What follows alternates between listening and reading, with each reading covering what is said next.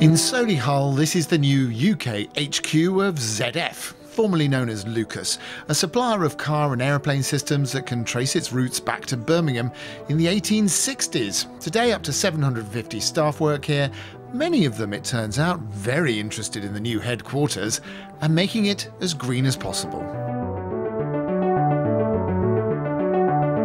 Just by their nature as being engineers, they're inquisitive and, and they like to question everything. So yeah, we, we had a lot of people knocking at our door to, to, to get involved, should we say.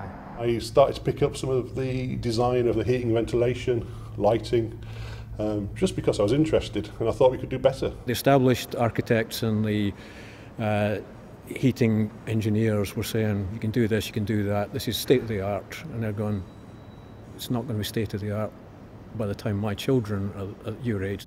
The engineers here turned the initial plan upside down, deciding they can make everything greener and more energy efficient. So, sure, there are solar panels on the roof, but there's so much more here. Air leaving the building flows through these locally built pumps. That removes and recycles almost 95% of the heat.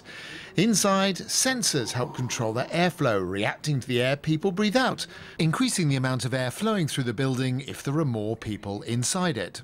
So this commitment to reducing CO2 emissions even extends to the canteen, where they've introduced portion control to cut down on food waste. But it still tastes just as good. In the end, the new greener building cost exactly the same as the original plans, but it does have one other major benefit.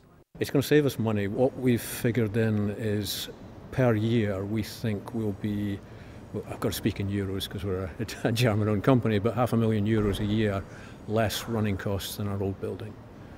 Um, and that, that's a huge step. That's about £420,000 saved every single year. But all of this has also seen massive reductions in CO2 emissions. By next year, they could be more or less at zero. And that's not a bad result from staff having a go at going greener. David Gregory Kumar, BBC Midlands Today, Solihull.